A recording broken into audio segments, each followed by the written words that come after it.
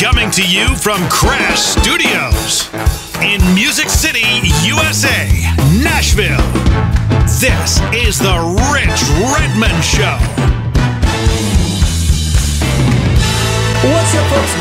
It's that time. It's time for an exciting episode of the Rich Redmond Show where we talk about all things like music, motivation, success, and of course, so much more stuff. Always happy to be joined by, by my co-host, co-producer, longtime friend, Jim McCarthy, Jim McCarthy Voiceovers.com. What's up, Jim? How are you, sir? Doing great. Hey, this uh-huh. this mic got all sorts of roomy. It got roomy all of a sudden. I think it kind of like it doesn't like the being yelled at. I guess. Maybe, Oh, I just need know. to just stop yelling into it. Maybe. Oh, that's much I'll, I'll work on it. That's It's much a- warmer right there. It's a continuous. I think it was uh, picking up from other mics, maybe. Yeah, kind of sounds like. We're, we're, we're getting some input from our guest today because he's not only a world class drummer, but a, he's a fantastic engineer.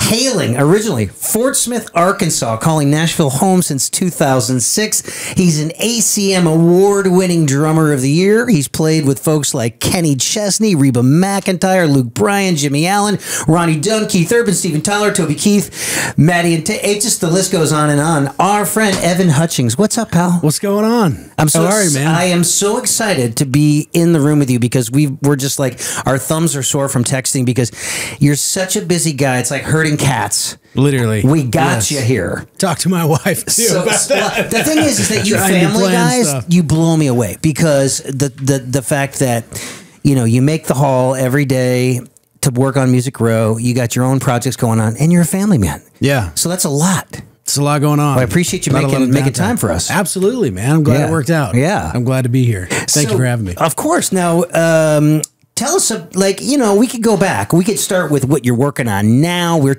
there's so much stuff that we can talk about. But you moved to Nashville in 2006, so we can start there, or you can kind of like take us back. I know for a fact that so many drummers start their journey playing in church, and I think Yeah. that was your journey. Yeah, yeah, that's where it started for me. Two years old. Um, That's so young. up on the kit. I know. So the story goes, my dad tells, is that they were having worship band practice. This was actually in Hot Springs, Arkansas, and the drummer wasn't there yet, and uh, or he had went to use the restroom or something like that. I don't know. And then hop, I hopped up on the kit, and they just thought he was there. You know, they thought, oh, the drummer's here, and they looked back and couldn't see anybody, and it was a little two year old me. And to me, that means maybe the drummer wasn't that good. it sounded like a two-year-old drummer. Do you remember who this guy was? I don't. Oh, I don't yeah. remember who he was. I'm sure he was a great drummer. But anyway, yeah. So I was just always drawn to the drums. And during church, every Sunday, you know, we were at church. It was Sunday morning service, Sunday night, Wednesday night, you know. So, and I was there all the time. After school, go to the church, hang out, play drums. Me and my sister and cousins, they were always there. So we formed bands together. Was your dad and- the preacher? Or he was the pastor. Oh, yeah, a pastor. the head pastor. Yeah. Wow. He was the, the senior pastor. Just retired actually two weeks ago. Wow. Pretty Wow. wild. God. 42 years. Big oh my congrats. It's a long time. Good for him. Yeah. Amazing. That's a lot of pressure. Every Sunday, you got to come up with a new message. Yeah. And he would, so he would preach at 9 a.m., 10 a.m., 1045, 630 on Sunday, radio show, TV show, Wednesday night at seven, all different sermons, all different things. All different? Busy guy. Yeah, busy. Talk Busy about guy. getting your speaking reps in. literally. Yeah, and plus you were probably just like raised to be like a a, a, a very respectful young man. Yeah. I knew how to pretend to be for sure. but uh but yeah, so I would always sit behind the drummer at church during the worship time and just soak it in and then after church he would show me some cool stuff. A guy named Sam Smith was the guy that really kind of taught me. He was teaching me really cool stuff that I was like I didn't realize was way more advanced, you know, like Mozambique grooves, Oh, yeah. and like Steve Gadd stuff, Picaro kind of stuff. And I was like literally like four or five years old. That's crazy you to be exposed to that kind of stuff. And yeah, so I would I would hang out at the church all afternoon in between services and just practice and practice and play and play and play. Sunday night rolled around. Whenever I got older, I was able to play in the band at church and stuff. And so, yeah, it was just kind of nonstop playing, which Yeah. was great for me. Terrible for the people that worked at the church. but thankfully, they put up with it. Yeah. you know? And So, so your parents saw that in you, and you, you didn't necessarily have to go and get proper lessons right away because you were just immersed in this culture. Yeah, it was just all the time. I got one drum lesson from a lady in our hometown, and I hated it. Didn't didn't You're- connect. You're too young. Yeah, I was too young. Yeah. yeah. And I had my own kid at that time and was just always playing. I joined band, uh, like proper band, in in seventh grade. But I was also playing football, and that music was just it came easy to me. Yeah. It wasn't something that I like worked too hard at, you know. Yeah. So sports was like really where I was focused on the like extra time and things like that. So I quit band because I didn't want to march in my uniform, my football uniform. That's right. That's right. And when we were playing, I was like kind of a cocky little kid, you know, and I knew, I mean, I was already playing everything that we were supposed to be learning. And I, Yeah. you know, the band director didn't like that. And we just didn't really, we didn't jive, you know. So, I what, what like, was the football peace. your your football career? Did, did did you did you get hurt or was it looking like, hey, I might do this? Or So we, I played my whole life up until, oddly enough, my senior year of high school. I quit, but we like won state championship. We were the best like high school football team in Arkansas. You know, Yeah. incredible team, great coaches, um, and that really taught me how to show up and work really hard when you don't want to. You know, just Yeah. before school, five thirty a.m. in the weight room, like that kind of stuff. Yeah. You know. So you just learn how to grind. You learn how to work, get over it, just like toughen up Yeah. and, and show up, you know. And I feel like a lot of that stuff still I, I I have a lot of those traits still today that still connects with me today, which is cool. But yeah, so senior year of high school, I joined a different band that I was in. Fast forwarding, there's a bunch of other bands in between that. And um, we started touring the country. We would book shows via MySpace back when MySpace was around. was this the band The Exception? The exception. Nice. Yes. So yeah, we just we busted out a um, an atlas and just said, okay, I've got family here, here, and here. Let's book shows around that so we can stay places for free. Smart. So we went to Denver, we went to like Cheyenne, Wyoming, Chicago, Minneapolis, St. Louis, like just kind of all around Playing rock clubs. playing rock clubs. Yeah, like 16, 17 years old. With the dudes that you, you go to the bathroom and there's like a trough. Yeah, And everybody has to exactly. pee in the, Remember those, Jim? yes. You're like, hey. we weren't old enough to be in the clubs we were playing. You Yeah, know what I mean? yeah. Which was great. It was a great experience. Kind of learned how to tour with people at a at an early age. Yeah. And um, yeah, we moved to Nashville together in 2006. That band did. And um, Mike Rennie, he's a bass player here in town. He was in that band. We Yeah. still do sessions together all the time. Beautiful. Yeah. it's really So cool. Maybe you guys were the only ones in the band that had either the aspirations or the skill set to potentially be session players. Yeah, there's another guy, Scott Hunley, was also in that band. He's doing sessions, mixing. He does a lot of mixing. Nice. He's a fantastic mixer. Did you guys have a band house together? We did, yeah. Eighth Avenue, Eighth and Wedgwood, Eighth and Wedgwood by Zanies? right across the street from Zanies. Uh, in the in the back there behind the dry cleaner. Kind of, yeah. So if you were to turn, if you were to turn Douglas left, Corner? yeah, like on that side, Douglas Yeah. Corner, there's like a pocket of three houses right over there. Yeah. We were one of those houses. It was like nine hundred bucks a month Amazing. for a three bedroom, three bathroom, full basement where we could practice. It was stupid cheap. That was like 300 bucks a a month. piece. Yeah. Yeah, Yeah. if that. I remember a Yeah. time where all Probably my more. bills were like five hundred bucks. Yeah. it was like, what? I could spread. I can spend that before breakfast now. I know. And know at what I that mean? time, that's a lot. You know, Yeah. at time. on a pair did- of drumsticks at that. Yeah. right. So yeah, I miss that old Douglas Corner. Douglas Corner, so many great acts have been signed there. So much great oh music Oh has gosh, happened there. Zanies is a magical place too. I mean, any comic who is anyone has has, has played that room. Yeah, huge. You know. saw Marc Maron there like a couple years ago. It Yeah. wasn't like that long ago. That just like you know. the food is good. The sweet potato fries, the, Oh, the yeah. veggie burger. I I I, I like. I, I'm overdue for his. Jim. Let's do it. We got to. We're overdue for a Zanies hit. We totally need to do it. I had an ex-wife. She was a psychic, and she still does Zanies Uh-huh. She was occasionally. a psychic, not a sidekick. She, the the, si- the was- sidekick, the subway sidekick is the foot long cookie, um, which does look good. But no, me and Billy Hahn. Billy Hahn was Colbie Caillat's percussionist, and Yeah. now he is Brett Young's touring drummer. Awesome. And we had we had a little group called Strike That, where we would basically play household objects or office supplies, and we would make music out oh, of. cool. I thought it was I'd hit that. I thought that's what it was Now called. I hit that as a warts and all podcast that you have done. Yeah, yeah. with with Yeah. Dave. Dave, yeah, it's and cool. he has a and he has a he has a uh, a habit of setting up the interviews many time in the most loud busy places like restaurants, sirens going by, other people talking. Yeah, all, Yes. all the stuff. He's awesome. It may it does make it charming. So, anyways, so you guys all come here and you're right there, Eighth Avenue. We're right up in the middle of it. Yeah. man. Yeah, all up in it. Yeah, and so I was going to MTSU at the time With Lalo, right? Yeah, with Lalo and and Julie, you know, teaching Yeah, yeah, yeah. year old, you know, Yeah. uh, Little UNT Texas, connection. Yeah. right. Yeah. And uh, another teacher there, Tommy G, Tom Giampietro is Yes. his name. Life changing teacher for me. He was like he was my guy that Yeah. I really connected with and and worked with a bunch.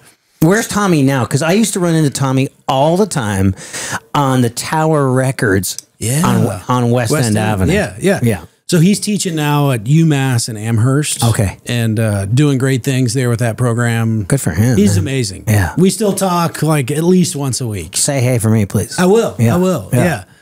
So I went in, like I was saying, not a not a lot of formal training for me. Like not a great reader, but a great ear, great feel, and could just kind of play anything, Yeah. but just couldn't read that well. Yeah. Which you need to do when you're going to music school, Yeah. shockingly. Um, so I went as a music production major and um, and then a music minor. And then after a semester, switched that around and just kind of busted my tail reading marimba, four mallet stuff, timpani, like all the the classic stuff. all the stuff. Yeah. Yeah, and then went from and then you know switch majors, which was kind of like a jazz studies major Yeah. with a minoring minor in recording engineering, which is great. You played in the big band at the Yeah, MTSU. big band, yeah. like salsa band. Went from not being able to read to just like could read anything. Nice. you know what I mean? Yeah.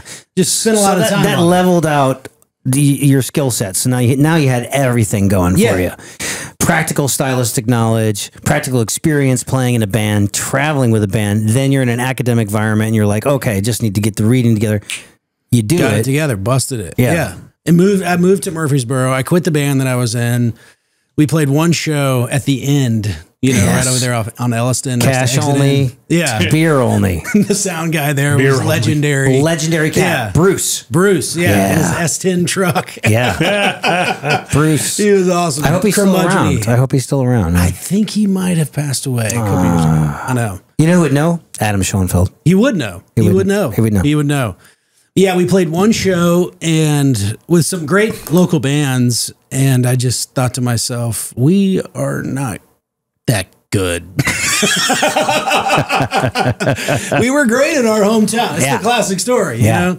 And uh, so I thought to myself, you know what? I'm gonna. I, I wanted to be a studio musician when I moved here. I just did, didn't know what that looked like, or how you do that, or what that is. You know what I mean? And so I decided, you know what? I'm just going to go basically live in a practice room for as long as I can and keep networking, hanging out with folks in Nashville, try to try to like hang on some sessions or whatever, like just do that whole thing. And then started touring uh, shortly after that. Left MTSU in 2008. The fall of 2008 was my last semester there. Okay. Yeah. And then started touring with a guy named Griffin House.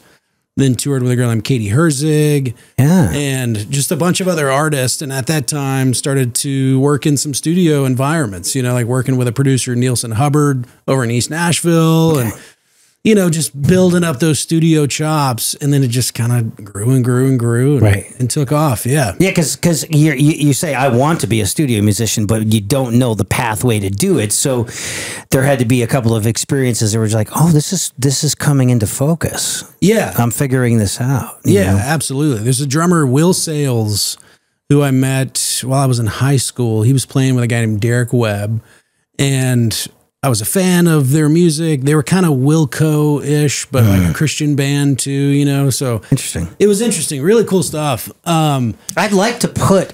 People are always asking me, "Do you play local, Rich? You got any other projects going?" I was like, "I want to. I know. I would love to put like an an Americana type Wilco thing together." But you know what? The most challenging thing is is finding that fantastic, charismatic front person Yeah. that doesn't want to just be their own solo recording artist with invisible players. Right. Like a band concept. yeah. You think it would be easier to do? It is not. Not easy. No. Yeah. Because if someone is great, they're probably already doing, you know, someone's found them, Right. You know, Right. which is also tough for artists to, to keep musicians around in this town too. You know, Oh, like yeah. younger younger artists. Because Yeah. if someone's really good, they're gonna go get a touring gig or whatever. You know. yeah.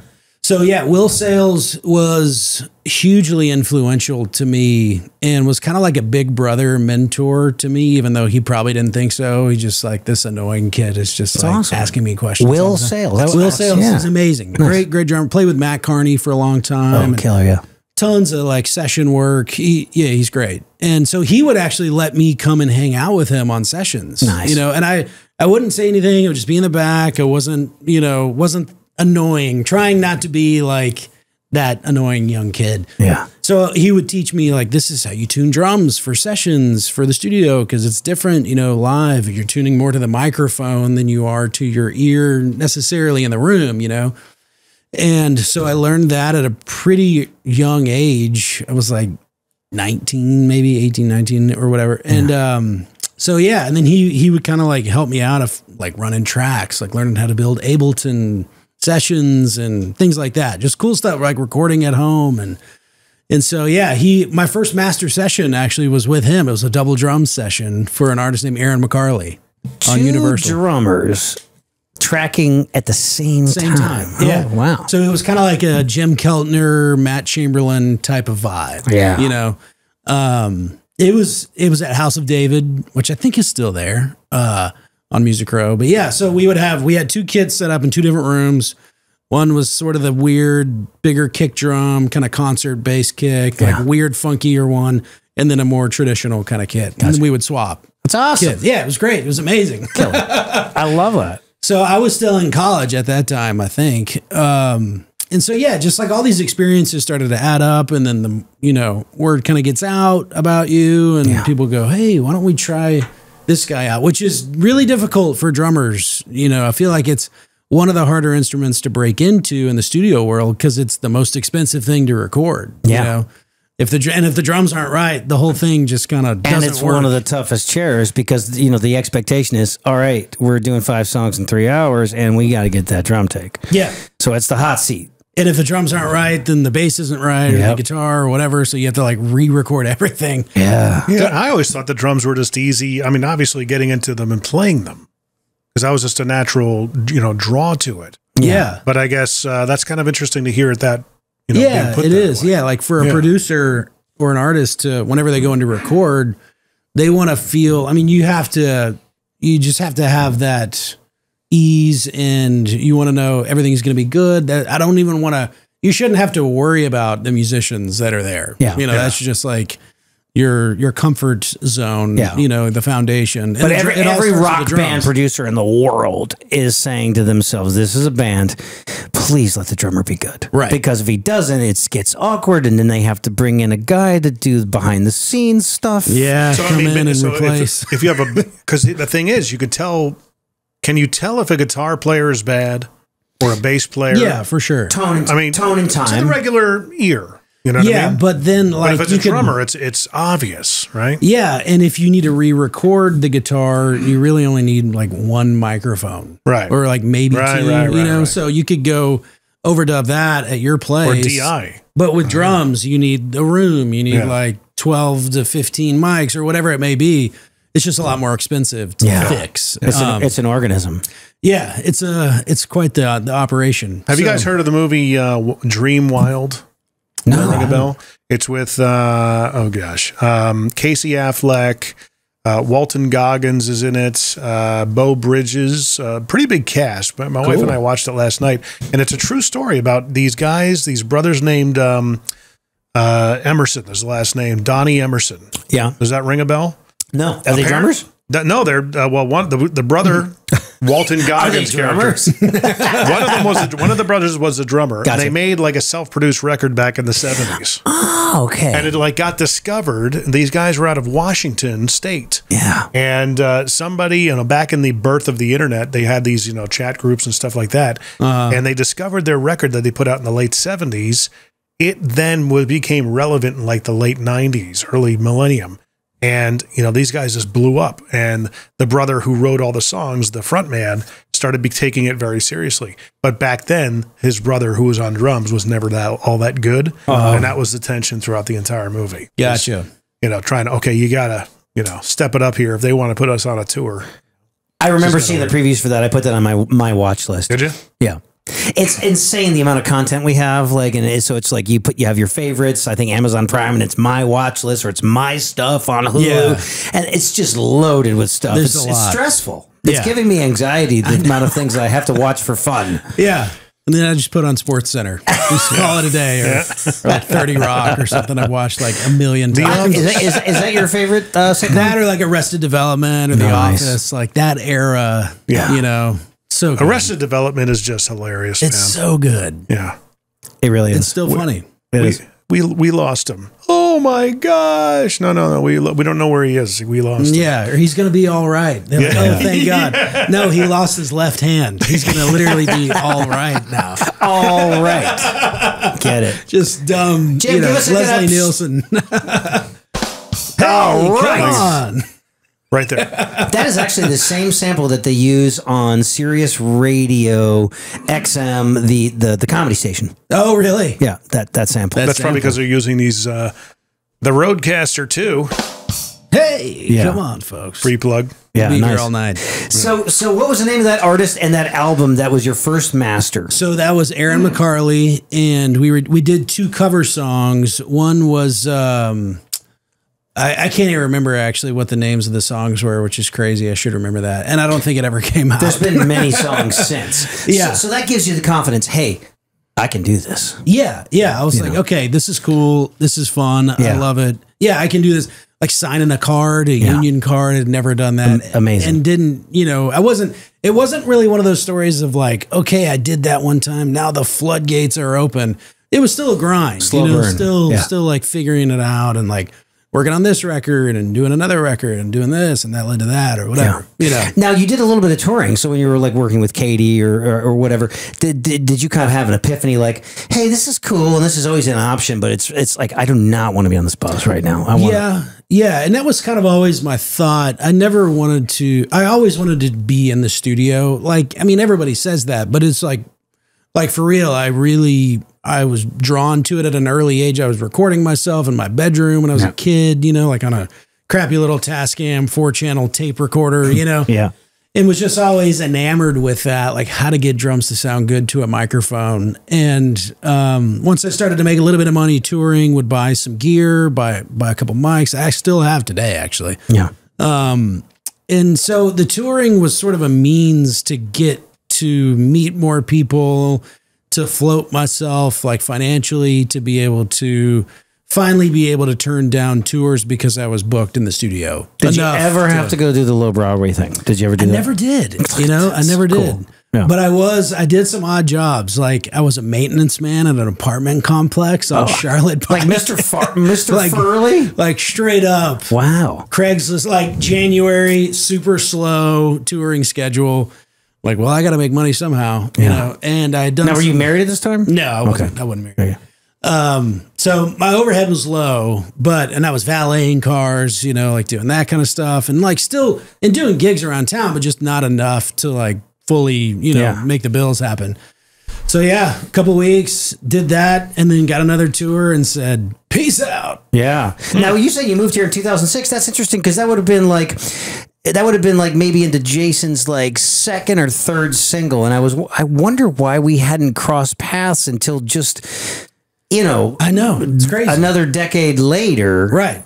We must have just been like we were working the we were doing like 200 shows a year. Yeah, and I would busy. come into town on Mondays and Tuesdays and do my do my sessions. Yeah, exactly. It was a exactly, man. sexy time. I was about your age right now. Yeah. and that was just a very very vibrant. I remember, you know, having my drums with Harry or whoever the heck I was with at the time, and Yeah. you'd do it. 10 o'clock at one place, then you'd have a, another kid over for a two o'clock. It was it was robust. Yeah, it's, You know? it's beautiful, man. And then you It's get on the bus and yeah, take the music to the people. night, yeah. peace out, and come back Sunday. But you're sta- you've stayed in town, and I mean, this is a great body of work here. Um, very, very robust discography. You got anybody on here that you um, are just like that is like, wow, that was, you know, be- Steven Tyler was, was kind of a wow Steven moment. Tallarico, yeah. Yeah, like I actually recorded so recorded some for him at my studio at my own place doing Yeah. overdubs and like having his vocals oh, going through your headphones is insane. Yeah. I mean it's just like you're an Aerosmith for like an hour, you know. I mean, it was incredible. Yeah. it was it was insane. I mean, I remember taking like videos of it and sending it to my parents, being like, "Check this out." you Was know? that it? Was that his um, country solo Yeah, record? was the country record. And then record, Sarah, yeah. Sarah Tomek went to go do the tour. Yeah. I- now I got called originally when I um, actually before Sarah did that. Um, I was playing with this band Loving Mary, which is basically the Stevens background. Oh, yeah, band. yeah, yeah, So yeah. I almost, but I, I was like, look, I can't be in two places at once. So Right. there's a reason for every season, and like so Sarah, kill it. We got to get more female drummers on this show, Jim. There's some great ones. we in really Chile. do. Some great. great Yeah, I think people are going to look at the the, the the the the episodes and be like, "Where's all the chicks?" you know, we, I mean, I mean the, the women drummers are slim pickings, though. well, in this town we've got Sarah, we've Yeah. got Megan Coleman, we've She's got. awesome. Um, There's there's Right, a lot. so you Yeah. got two. we're just go we're just going blank right now. What about like you know Evelyn Glennie and uh, Oh, you know she's amazing. Sheila E. and Oh yeah, yeah. Right? We'll, we'll have to, we'll Oh, have to zoom her. You Cindy know, Blackman. Yeah. yeah, Cindy Blackman. Incredible. she's around Incredible. here, right? Cindy Blackman. She's, She lives I in think on the Vegas. West Coast. Yeah. Is she? Yeah, she married Carlos. She gets to play the smooth drum fill like all the time. She married him.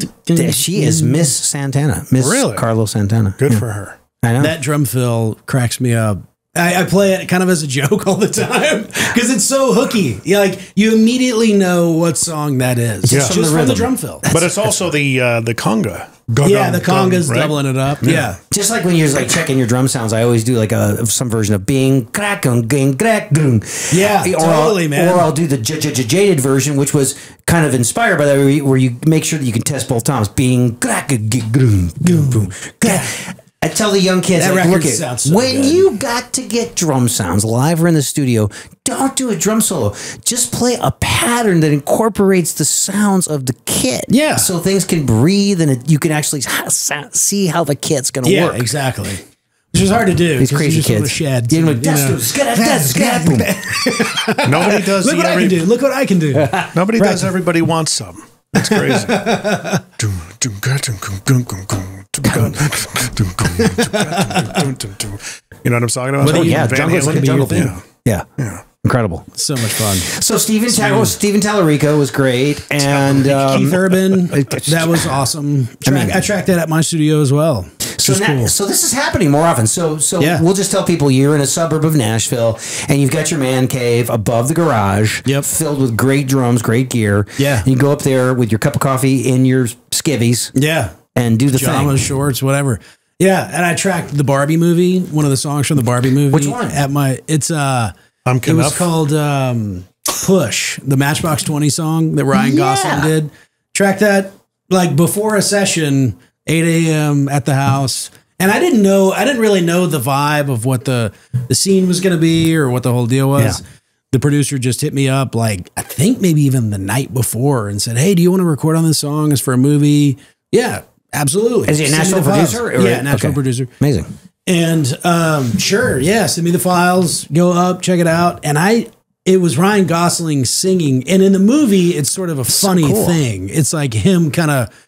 He says, "I'm going to sing at you, Barbie." You know. Oh, he's playing the guitar for yeah, her. it's like on the beach. Yeah. and so it's kind of it's meant to be funny, but I didn't know that. Yeah. So I'm just thinking, like, God, this is terrible. like playing on a movie soundtrack, but and- it's Ryan Gosling. and I didn't know it was him. Yeah. You know, I just thought it was like a demo session singer, kind of Yeah. making fun of that Rob Thomas kind of style. You know, like because it was over the top and all that. You know. Yeah. And so did it and sent it off, and even the mix, Jim Cooley mixed it, and none of us really knew the the context of the song, which was meant to be funny. Yeah. but we didn't know that, and we were just kind of like, Jim what in Cooley. Yeah, so you remember now Jim Cooley has become an award-winning uh, mix engineer. He's Back like, off the mic just a tad. Okay, um, uh, but for about a decade we worked together nonstop because when we had New Voice Entertainment, Okay, me and the he was guys, the second engineer. he he did he mixed a lot of the Thompson. He tracked the Thompson Square stuff, the That's Parmalee stuff. Yeah, so Dude, so Jim legendary. never leaves his man cave. Still He's never just- does. He's in there. I'm like, dude, that's how do you not go crazy? I don't know. Just locked up. He's got a special skill to be able to like stare at a screen for hours and hours and hours and a day. keep your ears fresh. I mean, I guess Right. I guess you have to maybe step out and you know how like when ginger is a palate cleanser in between Yeah. bites of sushi. I don't know Yeah. what what a mix engineer would do to kind of like just just silence. I don't know, I go listen to some birds or something. I don't know. Yeah, every once in a Take a while we'll see him like pop out of his cave, and Yeah. I mean he listens pretty loud too sometimes. You Yeah. know? I mean it's like, and he's he's in, he's one of the best mix engineers I've ever Yeah. worked with, heard. Now you you dabble with that as well, right? yeah, I also mix a little Nice. bit, you know, and produce and produce and session lead. and session lead, which is great. Yeah, The great thing about you must have a great ear because, um, you know, when I get called to lead session, sometimes like I will get the charts done. You know what I mean? But I am so slow at. Yeah. It's, you know, it's you must be just really fast to be able to do that all the time. Yeah, I grew up. Actually, guitar was my first instrument. There you go. So that's kind of Yeah. yeah. Started on guitar. Well, it wasn't my first. It was the first instrument I got. Drums were my first instrument, but I never didn't have a drum set till I was nine years old. Yeah. Um, got a guitar when I was really young and would just play along to the. My dad, my dad kind of plays everything. Um, just like good enough, you know, to kind of get by. Yeah. He must be proud, right? Your folks. Oh yeah, they're super proud. Just like, look at this kid is done. He's doing it. It's amazing. he, he bought a house. It's the American right. dream. Yeah, exactly. Playing Ra- drums. raising a family, playing the drums. It's crazy. Yeah, so he he taught he taught me like just basic guitar stuff when I was young, piano. Um, my he sings as well as my mom. My sisters all sing. One of my sisters plays guitar. So it's a real musical family. That's nice. Yeah. So it was just kind of the ear was always in there. Yeah. you know. Now, now since um, Evan uh, session leads Jim, uh, his his retirement, his his pension from the union will be bigger than mine because he gets double scale a lot.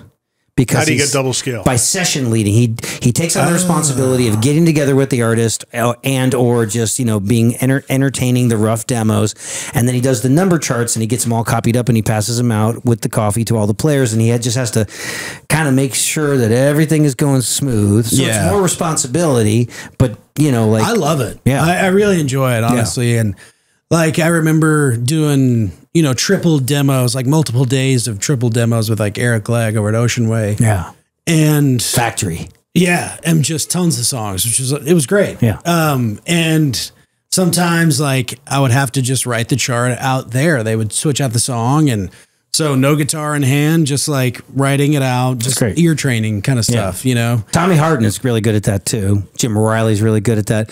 But usually it's a keyboard player or a guitar player because they just have more usual. of a harmonic. Right. Unless it's a Christmas song, I'm, I'm good. A lot of chords in those Christmas songs. How Those many? Uh, who's the guy on your sessions for Jason? Oh, that's Adam Shoenfeld. Yeah, Adam's. Uh, Adam was telling me what his um, thing is, and it's Yeah. It's not bad. It's bigger, Yeah. It's bigger. But drums are more fun. Let's be honest. Like, Drums it's- is it's the best chair. So it's fun. the best seat in the house. it really is. Yeah. It's the sweatiest seat in the house for sure. What's, That- that is true. what's your gear, bro? So I I don't have a kit endorsement. I was talking to Gretsch for a while, but pulled out of that. Yeah. Um, to but I play 7700. Gretsch. I play Gretsch Yeah. usually in the studio. Gretsch or Ludwig. Um, and Zildjian cymbals, Nice. Vic Firth sticks, Evans drum heads. You and I can never do a clinic tour together. I know, We have- we have nothing in common. What about uh, you know? What There should was be a lot of banners.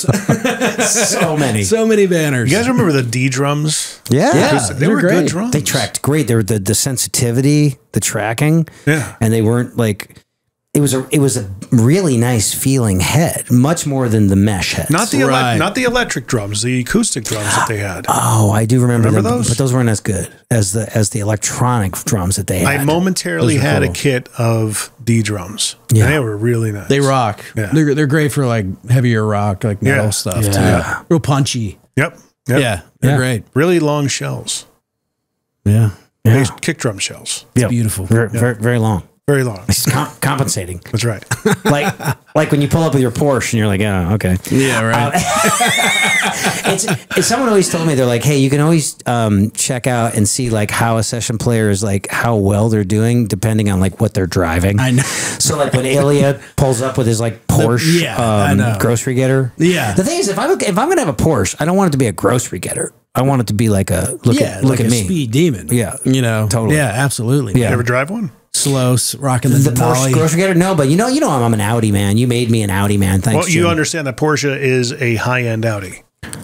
It's like a step above, right? Yeah. What'd you think? It's like the luxury version of an Audi. But an Audi is luxury enough. I mean, it's Yeah. Those you know, are great. They're great. Yeah, Yeah. amazing.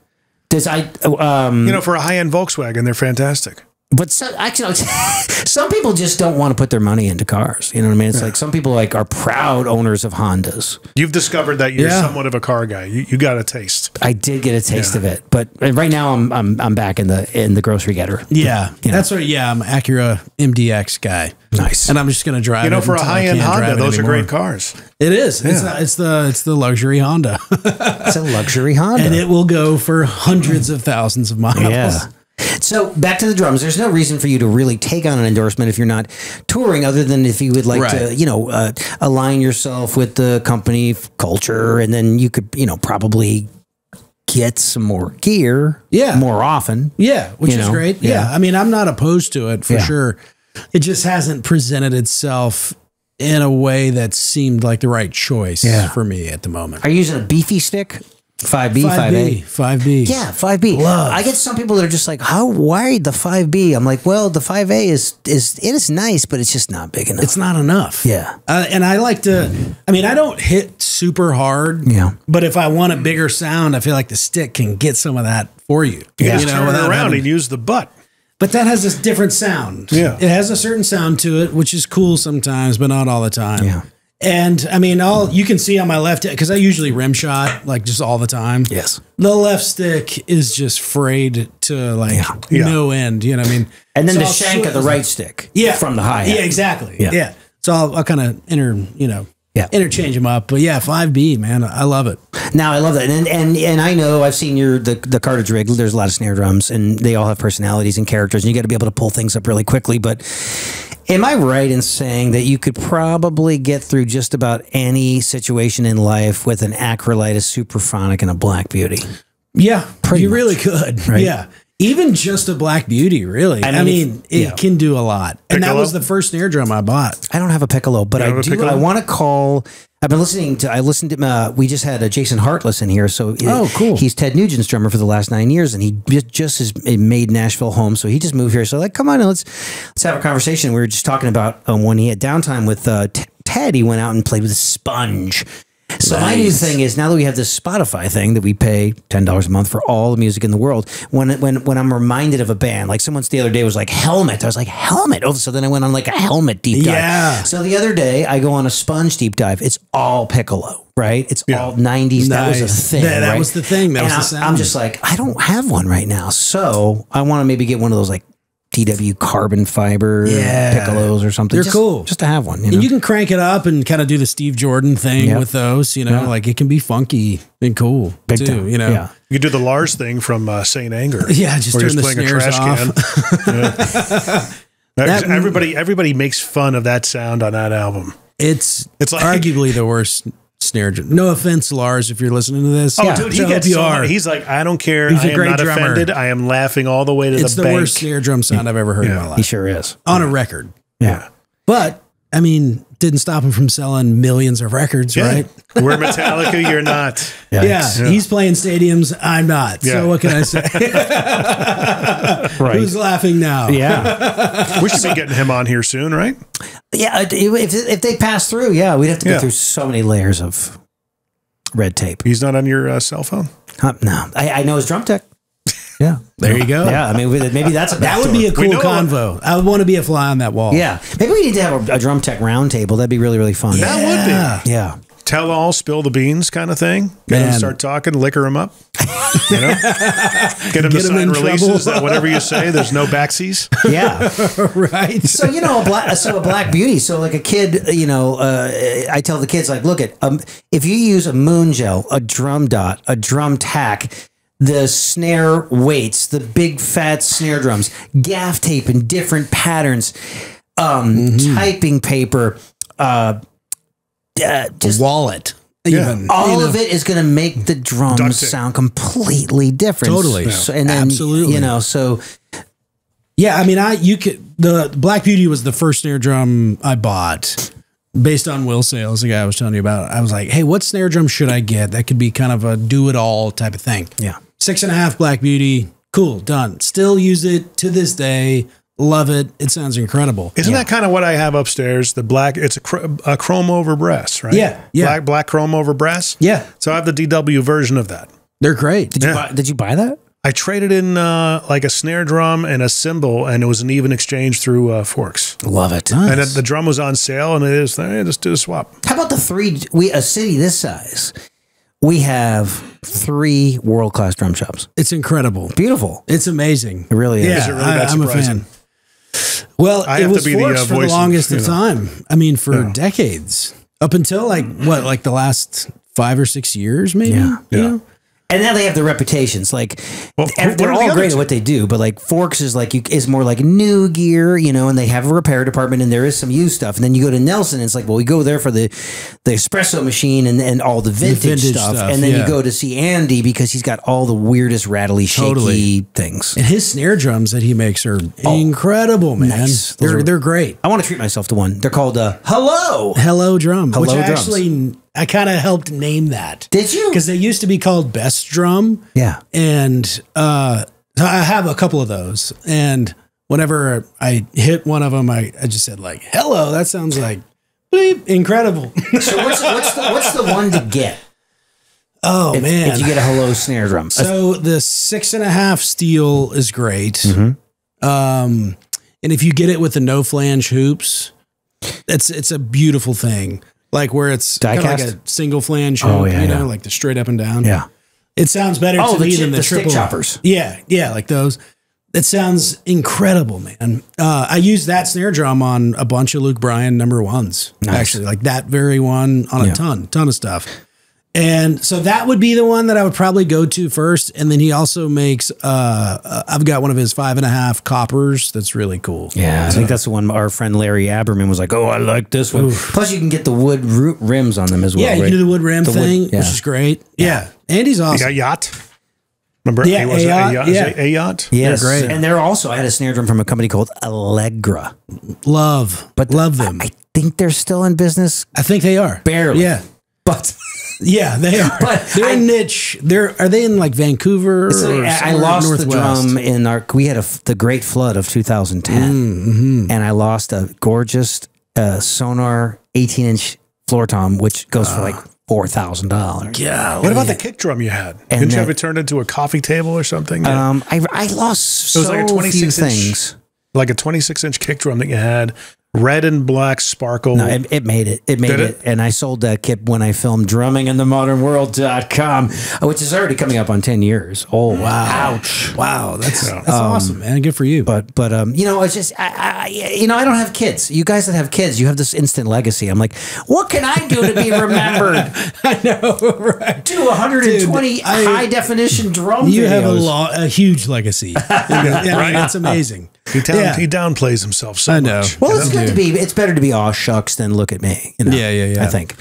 But the Allegra stuff was it a Mastercraft it, wood? Yeah, it was like, Like a- sandy blonde with the wood rims. are killer. And, and I used it for the yeah, the kind of thing. bir- birthday But I mean, bat. in the studio, does anybody really tell? Oh yeah, you can You- you tell can? e- more than anywhere else. I mean, for if you play, if you record a song with a CB700 kit and you just mic it and tune it the right way, can you really tell? It's just all about how it sounds. I think that would be great know? for like a to make a weird loops. Getting wood from the bottom of Lake Superior and then putting the, a kit together, can you really tell? No. No. And you know, Lake Superior wood, you know, charging fifteen thousand dollars for a four piece, that kind of thing. I mean, John Good gets these brilliant ideas. You I know, know. it's he, you know, it's a I'll take it. They're a for-profit business, so you know, Right. They have Well, to make gotta- money. Yeah. Yeah. You, you got to you know innovate and try. Yeah. and It's try kind of a stuff. collector collector. But I, I. I would always say, I'm like, dude, you can put a Pearl export kit on stage, mic it, and once it comes out the fronts, you're not going to tell. Yeah, You know? live is different than the studio because, like in the studio, you are hearing every single Yeah, overtone, nuances. And it has to be versatile. If they go, we like the toms, but it's kind of doing a boing thing, Mm-hmm. you know, and you're like, well, that's just in the drum because it's this crappy drum set. Yeah. So if you have a good drum set, you can change it and make it sound like anything. These are the want. only drums You I have. Okay, Yeah. these CB 700s. You want this? You got to take that. I've all actually right? got some old CB uh, hi hats that sound incredible. really trashy. They're right? real trashy, Yeah. like real Well, the funny dark thing and is, trashy. They're cool at- for loops. You look stuff. at like Wuhan Chinas. Yeah. those are great Chinas. They're great. and they're they're cheap. Yeah, They're like doesn't have to be bucks. expensive to be No. good. That's that's for sure. Yeah, I have a Wuhan upstairs actually. yeah, th- you know, they're uh, they don't last very long. They crack, but they're awesome. I beat the crap out of mine. Now I watch remember- me watch my freaking crack it now. I remember that song by the out uh, the outfield. Jo- Josie's on a vacation. We're Mm. far away, and I'm in my garage in my early teens and twirling my six, just waiting to sha sha on the on the Wuhan. You right, know? dude. I Exactly. could not wait. Getting after it. Coming up. Here we go. Dude, I love it. So hey, so I want to uh, might as well steal some info from you. Like you're you you do a lot of uh, great loops. Something like say Keith Urban's, you know, Wild Hearts super high fidelity loop, and then you've got like some other kind of strange trashy lo-fi stuff. What you know, Greg uses the Akai MPC thing. Some guys have just got the a physical machine. Other guys have got the machine app on their Yeah. iPad. What's your go-to? Well, I've got right now. I kind of just switched it up, so I've got a hybrid of a bunch of a couple different things. I usually, whenever I'm traveling or whenever I'm, my go-to that comes with me all the time and that goes with me all the time is uh, the Maschine, the micro machine, the little guy. Yeah. because you can set it up wherever and it doesn't take up a bunch of space. And I've got a bunch of samples and stuff in my laptop that I can drag and drop and pull into that and build something. Um, and then I also in my cartridge rig, I've got kind of a almost like another recording setup, you know, where I've got an interface. I'll set up a couple microphones, record myself into Ableton Live, Yeah. chop that up, do some effects, and then send that out the same loop lines that the machine's going out of. Oh, so you, you know? just you just tell the guys, hey, shh, I got to. yeah, let me just record this real quick and then I'll edit it and then throw some effects like- on it. And it takes like 10 seconds. Yeah, Which that's- is awesome. Yeah. Because, you know, Ableton's super fast. And then I've also got um, the SPD-SX Pro over to my left. Okay. So uh, I'm kind of going in this hybrid thing. Uh, we'll see how long it lasts, but uh, triggers on kick and snare, which is awesome. And then I've also those are going to their own outputs from the from the pad, triggering my own samples or other samples that I've got, you know.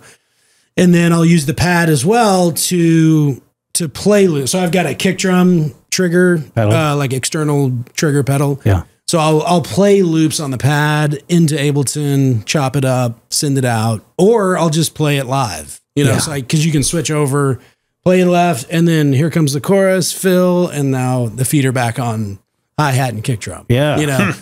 so kind of So three options. so there's a lot of options. Yeah, That's great. yeah, and then whenever I'm tracking at home, I usually just a lot of times I'll just drag and drop in samples if I'm building a loop, or I'll just play it on my kit and then kind of affect it more, spend some more time with Yeah. certain things at the house. Yeah. you know? I love it. Okay, so I got to get faster at Ableton. So this is always, you know, you don't want moss growing on you. You gotta, you gotta. I know it's all about workflow, and so what I tell people is just spend that.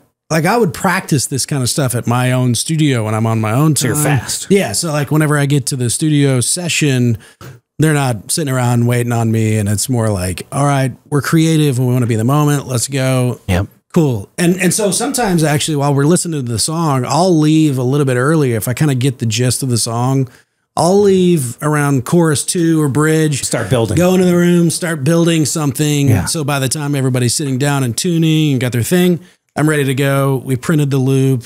We're ready to rock. You're thinking know. you're thinking an efficiency. Yeah, Yeah. efficiency. good. And so Because even on a master recording, like it's a luxury to have, like, say, one song every three hours, right? I would Yeah, think that's that on a master recording, it's more like every ninety minutes.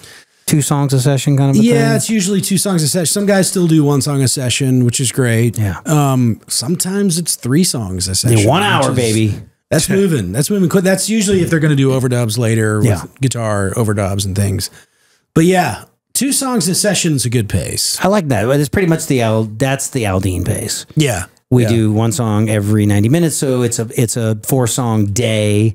Yeah. Um, so we record fifteen tracks for the record. So really, we're done in about three days. That's great. You know, and then Yeah.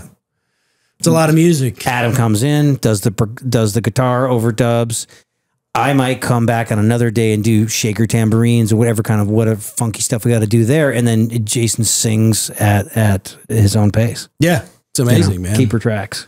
Yeah, and in Nashville, I mean that's so that doesn't really happen in other cities. No. Which we don't we we kind of forget in Nashville how quick and efficient we are in the studio and just like on it. You know, and the engineers too, like across the board, not just the musicians, but it's the engineers, the assistant engineers, it's everybody like the gear works, you know, like Yeah. all that's been tested out, mics are tested out before we get there Yeah. so that we can just go. And the punching, like the engineers that, like you know, working with Cam the other day over Yeah, at Soundstage. so fast. I get you. I got you. I got you in. I'm going to get you out. Boom, boom. Rich, you going all the way down to the top? Yeah, I'm going down with uh, Adam again. We're go- Just like, Let's go. dude. I know he's built different.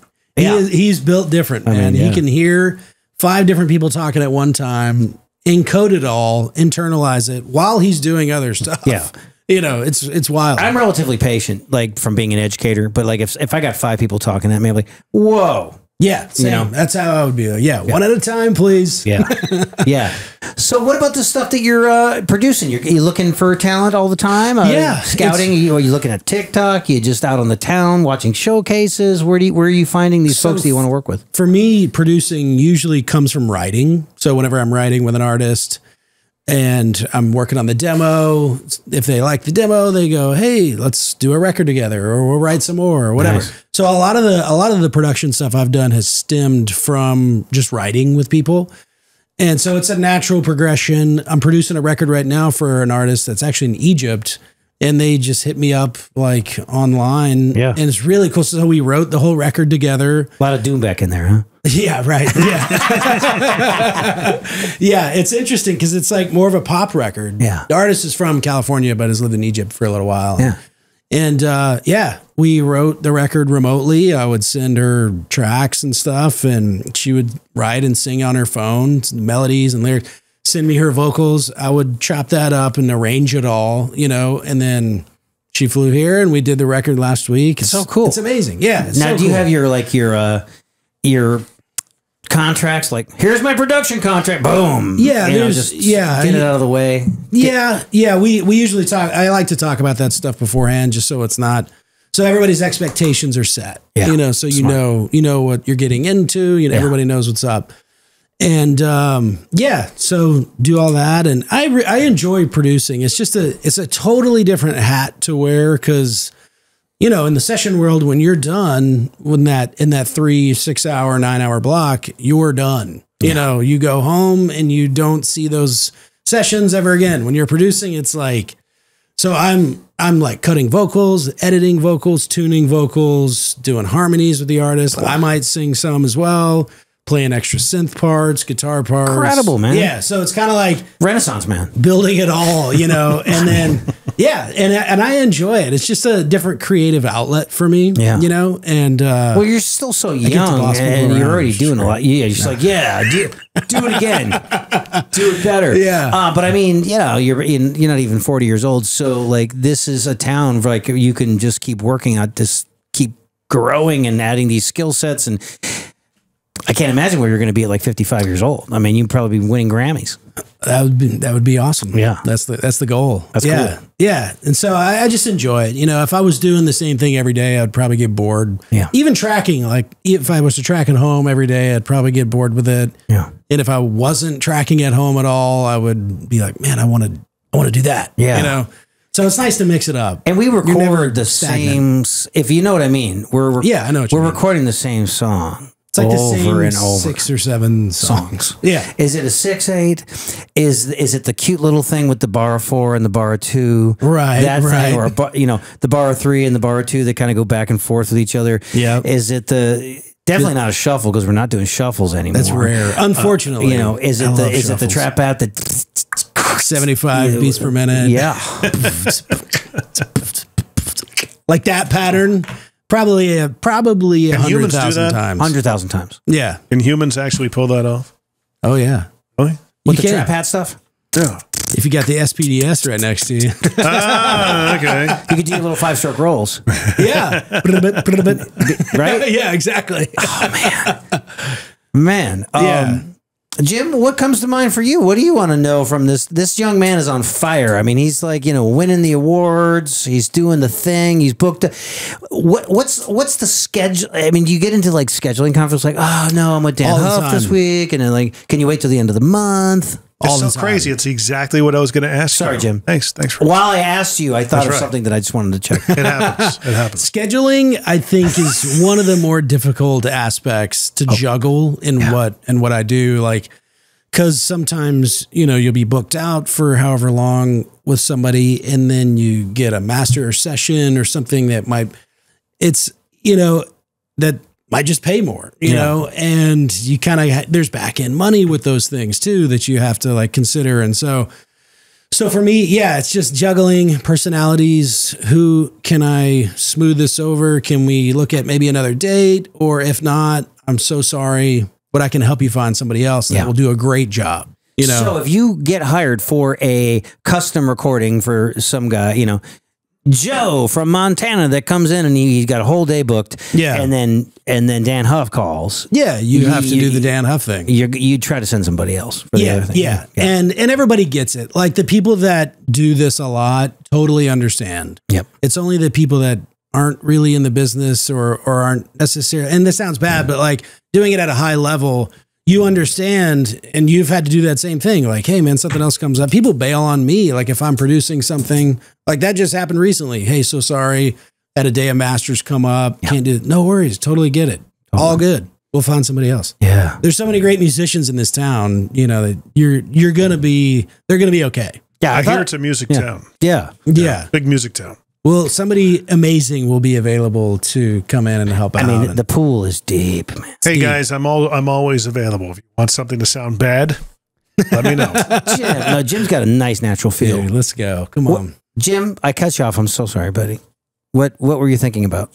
I was going back. I took a note on uh, you have like you noticed that the guy Bruce drove an S10. Are you Yeah. one of those guys who memorizes the cars that people drive? I I've never thought about that, but I, I kind of think do the I same am. thing. Yeah. You see the I don't car? know why. Do you do the same thing, Rich? I mean, when you I have a weird thing. I memorize people's email addresses. It's Really? bizarre. Yeah. Man, yeah. You're like I'll Drum tell you Slayer at. AOL. right. yeah, I've done. If it's if it's unique and just odd, then Yeah. it's hard to forget. But yeah, I feel like sometimes with it's like musicians, they play a lot of times like their personality, you know, yeah.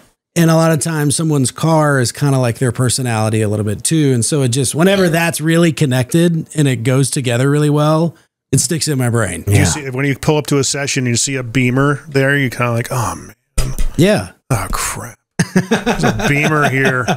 They're- how they, they are. they must be leading the session. Jim's more of a, yes. Jim's more of a Mercedes guy. Yeah, only because, but I was never, I never thought I'd be one, a Mercedes guy. I, I sold cars once upon a time. Uh huh. And uh, I first started selling Honda, which made sense because we drove a Honda Odyssey for the family. It was our, Yeah. you know, the the the the uh, family truckster. And uh, I had a customer tell me that you need to be selling Highline. And at the time, uh, the company that I worked for had uh, Porsche, Audi, um, BMW, Mercedes. Mercedes had an opening. I put in for a transfer. I'm like, sure, I'll give it a shot. I never knew I would fall head over heels for a German vehicle. I know, right? Crazy. They're meant to go fast.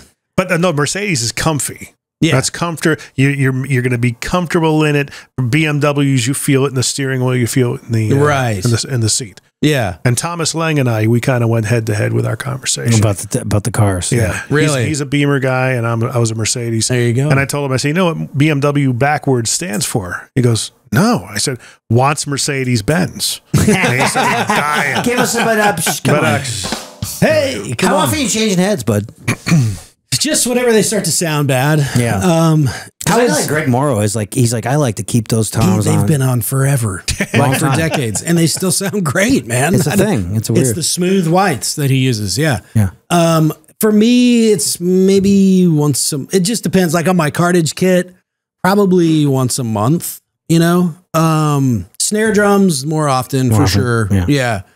Um, I could just hear it. Like whenever I can't tune it how I want to, or if it starts to sound a little too slappy Yeah. sounding, then it's like gotta go. Do you, you use lug locks for your rim shots? I do, yeah, on Yeah. the snare drum. Lifesaver. Yeah. The Tama makes some that are incredible. Yeah. Uh, haven't seen Really? those. Yeah, they're like black and red, and they're kind of like diamond shaped. Ah, They work the best of anything that I've ever used. Like, they, Tama. Yeah, Well, they're they're awesome. Speaking of uh, drum kit endorsements, are they going to be? I mean, who here endorses Tama? Tama's not too much of a country. Lonnie Wilson, Lonnie he's a, Wilson? he's a Tama guy. Is he? Um, They're a I'm great sure drum there kit. are others. They're great. Yeah. They're incredible. Yeah. And like Peter Erskine is a Tama Tama guy. I always say Tama. Yeah. I don't know how to Tama, say it. Tama, potato, pasty, pasty. Yeah, exactly. but they they've kind of come into a different market recently. Yeah. to where Really? it's like not just rock stuff because they've kind of been more known as like rock, metal, Rock stuff and like metal, yeah. yeah. But they're they're making like great kits that sound a little bit more vintagey or kind Yeah. of tuned more open. Uh, Ronnie Caspi is another drummer. So I did this Zildjian event last year, last fall, up in Boston Yeah, yeah. honoring Eddie Bayers. They're doing their it was their 400th year anniversary of being a company. Zildjian. Zildjian. Yeah. Crazy. 1623. 23. Like Wow. oldest music company in the world. Yeah.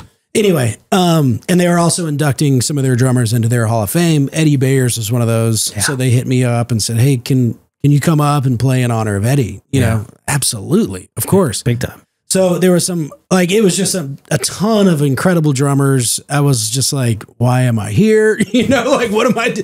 I'm like going up to Antonio Sanchez, going like, you're a god. Like I love what you do. Birdman, yeah. Yeah, Birdman. Which like talking about music bed stuff earlier. Oh, yeah. I got that idea to do an all drum kind of cinematic project from him, like based so, on the so, Birdman. So thing. musicbed.com has been piquing my interest. It's it's it's Yeah. it's license music you can license, but instead of like full songs for films, it's more of like the bed.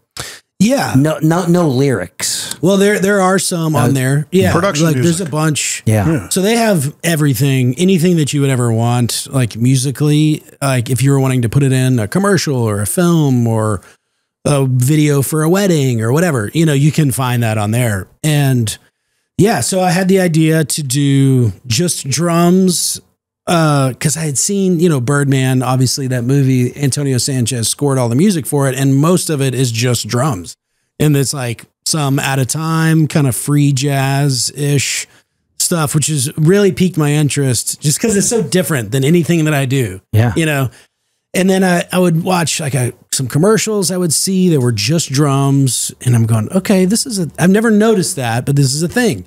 So reached out to them and they were interested in it and did a project for them and it did really well. And I mean, there are companies in Paris, France, like clothing companies that'll use my drum songs, you know, f- Drum songs, yeah. like for their ads and stuff. Yeah. It's really cool. Like super So cool. did, did, did you have to call them to do the project, or is it is it a thing where like basically you you sign up an account and you load your stuff up and you throw your hat in the ring, right? Anybody can do it. Um, not anybody can do it. They Gotcha. kind of have to approve Okay. the idea. Nice. And so I had some, I had produced some things, produced some records with artists that had a relationship with that company. And so I was already involved in the company. Mm-hmm. And uh, so that I guess kind of helped with the, the relationship was already there. And I just had the idea and said, Hey, would you guys be interested in this? And, and they were. That's and killer. Yeah. So I've done like four or five different projects now with them. nice. And it's great because I can I can do it from my place and I mix everything and do it all myself. I kind of use that Birdman thing as an inspiration because uh, uh, this actor Larry Romano reached out to me last year, and he was on this uh, show called King of Queens. Yeah. And he, but he's also a film director, and he has a movie coming out. It's going to hit the festival circuit called Saturday in the Park. And he goes, I want this score to be almost all drums. That's awesome. So Yeah. we, you know, so we went over to uh, to Tony Morra's house, and you know, because Yeah. Tony has way more outboard gear than I do. He's got- and, yeah. and it's nice to work with another drummer, right. you know, because we can get each other inside each other's head, Yeah, absolutely. you know, and so so hopefully that'll see the light of day. That's so cool, man. a lot of drums. it's such a different way to create than what we normally do because you're kind of you have to think a little bit more like you're like punching certain spots you know? Like you're not necessarily playing a form of a song. I mean you kind of are but it's just like a different style of a song. Yeah, and so i would think like sometimes honestly like i would throw up movies from youtube and have it with no sound and then play to the movie. That's smart. so it would like kind of create certain hits or certain peaks, and Peaks and valleys and, valleys, yeah. emotion on the drums, you know. And I did a lot of that stuff with Tommy G at MTSU. Like he would go, I want you to play like clouds. Hmm. And I'm like, that's cool. what is that? Right. A lot of cymbal swells, maybe. yeah, or like mallets on the toms, swells, or just like a certain thing. He's like, okay, now I want you to play like fire, or I want you to play like rocks, or I want you to play like you're mad or you're sad That's or whatever. great. You know, evoking a certain emotion because that's what music is. Is like conveying emotion through your instrument, and you know, you want to, you know, have somebody react to that. We're not just playing patterns and then the occasional Motown fill. Right? I know. Right? I mean, yes, if you want to make money, yeah. That's the, that's that's the money. Uh, so and then you have some samples that you got out Yeah, there so too. I, I just did a sample pack a couple months ago, and you can get it at my website, evanhutchings.com. nice. Yeah, and I made that for writers and producers that want just good sounding drums to play to. Yeah. You know, there's samples like there's one shots in there of like just kicks, snares, toms, like with a tight mix and with a roomy mix, Yeah. you know, and then grooves at all different tempos, dry mix where it's real tight, and then a big rock kind of roomy thing, and fills and swells. I mean, it's the whole the whole shebang. Smart. It was fun. It Yeah. was a blast to make, man. I, I'm actually working on another one right now. It's, That's great. It's really cool. I got fun. I got a couple of packages with Yurt Rock. I don't know. yeah, those guys are awesome. that's a great company, man. they're they're like the biggest. my you friend know. Ryan. He, he spends a lot of money on advertising, and he gets the word out. Yeah, you see it all yeah. all the time. But practical. I'm always thinking practical because there's so Yeah. many so many loop packages and things out there that are just they're they're almost too smart and almost unusable. Yeah, like exactly. Let, us do some knucklehead things that somebody that wants to play a three chord country song to can just immediately pull up. Absolutely, know? sounds great, feels great. You don't have to think about it. Yeah. And so, and then ultimately too, like I'll be on sessions where the demo was made with the drums from my sample pack. You know? I love it. And they're like, well, you can just go grab some coffee if you want. Or Yeah, that sounds like, good no, I'll re-record it. You know, Amazing. But it's cool. You know, it's cool. It's kind of connecting with people. And yeah, it's the same thing like what you're talking about. It's not overly processed. So many sample packs are like the guys were just bored. It sounds like, you know, and just like throwing every plug in on here and like, we're going to blow this up and like throw all this, which is fun to do. Right. Mm-hmm. But then in like a practical setting for what we see in this area code, that's not really usable. You know? It's kind of like scrolling through a Roland electronic drum kit, Yeah. the TD kits, and like 90% of the sounds on there are completely unusable. Right. They're Like fun what- to play for a minute. Right. But then if you want to like actually use them, Practical. you're going to go with the classic Well, maple like, what were, kit. you, what were you guys thinking with this? You Yeah. know, this. I guess that could, that could be used. That was a bad example. That was You know, that was great, you know, like right. Sample that. yeah. Something like that could, you know, hey, let's just throw it in. Just, you know, give them as many as we possibly can. Yeah. Yeah. That's fun. It's fun at Guitar Center. that was me when I was a kid, man. Is on that I the know. electric kits on Yeah. Saturdays. On Saturday like- morning. I want to hit, hit stadium setting. God. Yeah. Play along to Toto. That's very you know? inspiring. So are you are you, are you are, what are you who are your favorite drummers coming up? Is Jeff's in there, right? Oh God, yeah. Yeah. yeah. I mean, he's like the recording goat, you know, for just holding it down. And he died Tragic. like one year older than you Yeah. with that entire body of work. It's nuts, man. Crazy. Nuts. Was he 36? He wasn't even 38. 38, Yeah. really? Yeah. It's so crazy. Yeah. Crazy. So yeah, him, Jim Keltner early on was like a big influence. Matt Chamberlain. Nice. Um a lot of a lot of jazz guys like Stanton Moore was a big influence on me early Yeah, on. beautiful. Took some lessons with him. Yeah. Whenever you know he'd be here doing clinics and then Good do- teacher. Great teacher. Yeah, like that. That would- I, I had a little like um, New Orleans second line band in, in my hometown. And we would play at this Cajun restaurant like every Thursday night. That's cool. It was super cool. So it was like just kick drum, snare, cowbell, ride, and a hi hat. That was it.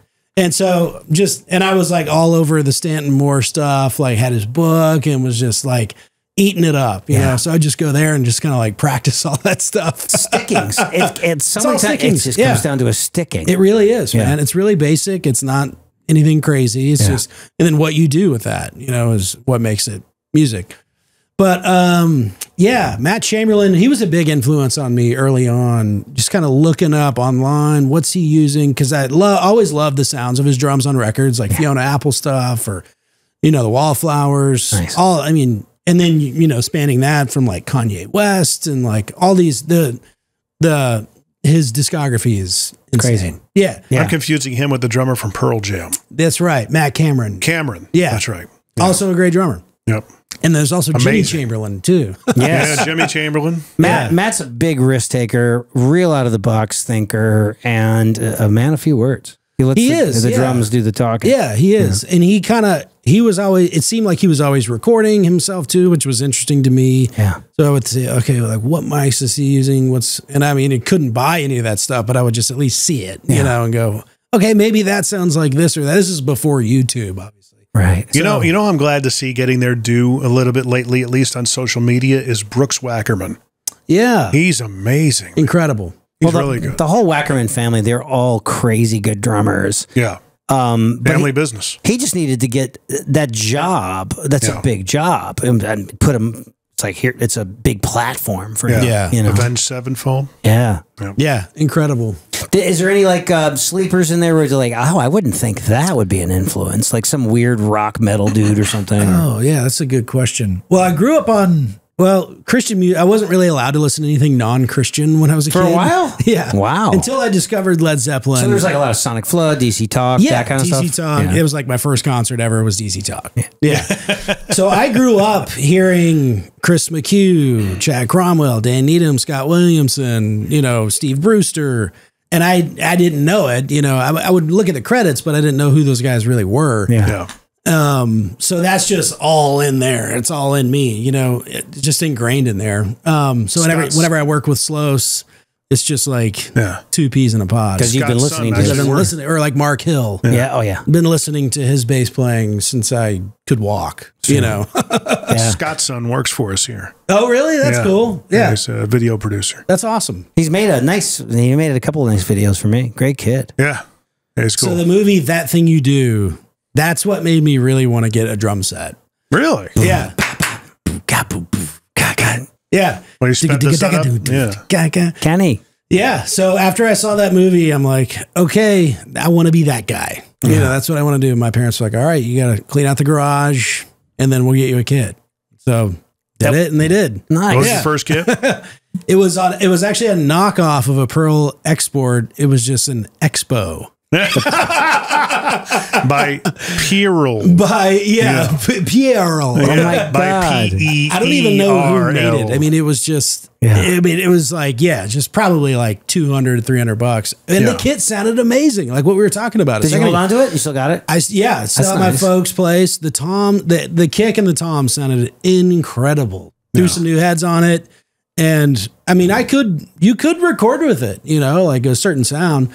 You know, I had all my favorite band stickers on the front and stuff. Toured with that toured with that kit a bunch, but um, Was it brand new when you got it? it was it was brand new. Had a red bow on the front, Yeah. and uh, I annoyed the crap out of my sisters I with had- that kit. I had dictionaries, dictionaries and encyclopedias for my first drum kit on a bed. Yeah. nice. That was it. Yeah, Hey, that'll work, man. That worked for Dave Grohl. that's right.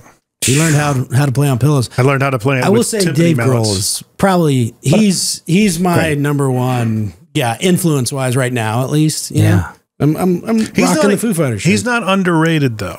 Like if you had to pick not. out who is an underrated drummer right now, and you're like, who comes to mind right now?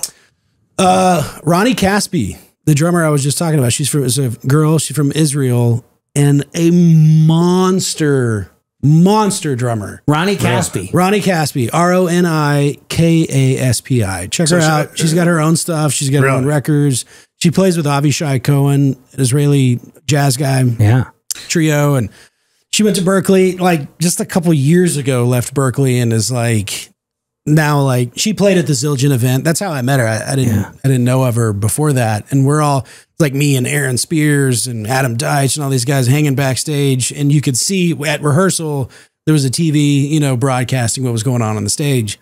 And when she started playing, everybody shut up and was like, "Good God!" Wow, really? Like It's because her in, she has interesting choices. interesting phrases, choices, like her chops, her energy, just like ferocious on the kit. I mean, she sits up. She's tiny. She's probably like five one, you know, Yeah. and like a hundred pounds. Hair's like pink, you know, Yeah. like. Wow. And she gets on the kit and she sits up super high and just demolishes the drums. wow. I have to check her out. it was about, amazing. uh, yeah, check her out. Anika Nilles.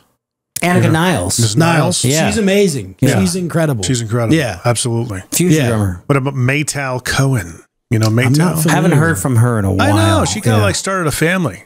Yeah. But she was playing, uh, you know, like metal covers and stuff like that. Okay. And, you know, She, wearing she got a lot of eyes Yeah. for a long time. pretty much Yeah. for a reason. She was wearing like lingerie while she was playing. Yeah, that, that is a trick that the girls use sometimes. I, you don't want Uh. to see me doing that. I tried it I once. can't pull work. that off. Yeah, people weren't fans. That's funny. Get off the drums. yeah. Put on a shirt. But yeah, she she's kind of on like the radar for me of like I'll like just look her up on YouTube and she'll blow your mind. Yeah. like Yeah. instantly. Yeah. Whatever she's doing, it's amazing. Was there a jazz phase when you were at MTSU with the? the- Yeah, that's all I did really when I was at MTSU. Was like I was a jazz snob kind of guy. like like studying the big band drummers, big and band then the- drummers. yeah, I mean everything like going all the way back, you know, like to the early dudes, Yeah. you know, and then modern guys as well. Brian Blade was a huge influence on me. Sure. Like so much so that I was like trying I was like subconsciously looking like him when I was playing and kind of moving like him because he's really animated when he plays. And Tommy G, my teacher at the time, was like, dude, you gotta Take a break. you gotta that. stop that. No more Brian Blade for a while. no more Okay. Brian Blade. It's affecting your playing, Well, and- yeah. and, then not a good way. You Yeah. know, yeah. Topical things as at the moment. Um, the Alex Van Halen uh, auction. Did you pick up anything? I you bid on didn't. I didn't. No. Have your eye on anything?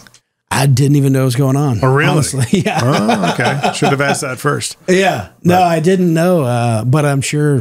I mean, there's some great stuff in there. What a legendary drummer, you know. I'm just I'm still shocked at the uh, 1981 gong, 40 inch Paiste gong with the stripes around the uh, the the rim. I guess the uh, holder. Went, went for like three hundred grand or something. Two hundred and eighty six thousand Golly, Yeah. that's Some a lot of money for a expendable gong. for Yeah. a gong. Like, where are you going to put that? You I know? get, yeah, that's true. It's probably a doctor or a lawyer Definitely. purchase that. Damn doctors and drummer. lawyers. Isn't it cool that our parents never said be a doctor or a lawyer? They're just It like, is. you want to play the drums? Okay. We, Yeah. We're No, 100%. they did say that. We just didn't listen. yeah. right? Yeah, I'm I'm super thankful my parents let me pursue this for a career and they let me go out on like do tours when I was a teenager. Yeah. You know, like leave home. And we I guess we had cell phones at the time, but you know, we didn't have GPS or anything. We would just print off MapQuest directions. MapQuest directions. Yeah. I mean, this is back in the day. yeah. That's what I used to do to go do my substitute teaching. That was my day job around here. When I moved here, I Yeah. would substitute teach during the day, then play in the clubs at night, you know. That's awesome. Yeah, just grinding it out. the last doing time whatever you'll you ever see do. me wear khakis. you know. Right, right, Yeah. right, right, right. What are you wearing? Uh, khakis? You should you should actually do one of these episodes dressed how you used to uh, teach. With my uh, Your briefcase. The briefcase, briefcase, the roller briefcase. I had a briefcase. Yeah, Button down shirt. Got to do it. Had to do that. We yeah. should actually do that. We should swap looks for one episode. I should dress like you, and you should dress like me. I could I could put on my valet jacket. where, where, where did you park cars? The Sunset Grill or something like that? yeah, it was like those restaurants, Oh, in the um, Hillsboro Village? like private parties. Yeah, like restaurants over off West End, Yeah. places like that. I hated it, man. Did and you- I couldn't even drive a stick. Did you ever get those douchebags that were like, hey, kid, be careful? Thankfully, no. but there was one time at a private party with the owner of the company. I was like, "You guys, I I don't drive a stick shift. It's just it's not. I don't. You know, I'm just I, if it's a standard, I'm your guy. You know, or automatic, whatever." Um, Cool, got it. We'll make a note of that. No worries, it's all good. So we're at this private party and it lets out, and there's like a couple hundred people there. It's super nice, like you know, black tie event, Yeah. and we're just running. We're just running and gunning and going to get cars, or whatever. So I get a BMW that's a stick shift, super nice car, and I'm like, oh god, and I can't like go. Hey, I can't. You know, you got to come back. It's like you just got to do it. Yeah. Yeah. So got it in reverse, doing the thing, pull it up, and like I just staying in first gear the whole time. But pull it up to like the the entryway of this like giant mansion where the dude's standing there and waiting, and like totally stall the car out as I'm trying to park like the clutch and the brake didn't hit, and it was like you You know. know, you're topping out at like 6,000 RPMs on the way yeah, up the exactly. driveway. Hundred percent. Yeah, that was me. And the guy was super nice. He was like, "Hey, you almost had it, didn't you? You almost had it." That's fun. Like, yeah, and he still tipped me, which is great. That's great. Well, because he, probably said, hey, at least you gave it he a felt shot. bad. He felt bad for me. Yeah, that's all right. It's Did you ever learn since? No. Oh man, I don't it's need like, to. it's, it's, like really- they don't make them. it's Yeah, it's nobody the, makes it's them. millennial it's the millennial car security system. It is. Get a get a stick shift. yeah. Yeah. No one's Nobody gonna knows how to steal drive that. it. Yeah. I mean, I did. I, I practiced, I guess, more after that, but I. You have to like live with that. You know, it's got to be a car that your dad or I- somebody has that you can actually. Yeah. I learned the concept of stick on a motorcycle, a dirt bike. Oh, really? Yeah. Like with a clutch. Yeah, clutch on the left hand and the throttle, and the you know you went through the gears on the left foot, and uh, I would actually my first car was a Suzuki Samurai, Samurai 1988, There you go. uh, with a five five speed stick shift, and I'd go back and forth in the driveway, just getting used to it. yeah. Yeah, over That's a and good over way to again. learn. I was I was a really boring kid. Yeah. yeah, my dad taught me the uh, stick shift, and there was a lot of profanity. Oh, I'm sure. I'm sure a ton of profanity and like smashing the invisible brake on the right side of the car. I had to teach Courtney because we bought her a car when we were still dating. We were living together.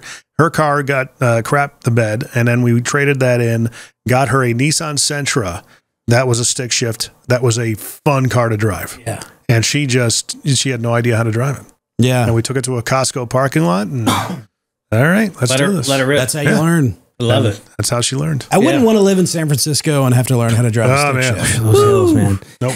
Brutal. When I w- like, I I had a I had a stick out in L.A. and you'd be up there right on Doheny going up to Sunset, and that this the hills like that. yeah, Yeah. just like and you're like, oh my god, don't please, stall don't- out. yeah, no one pull up behind me, please.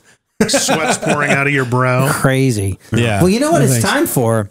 The Fave Five. Don't think about it. Favorite color.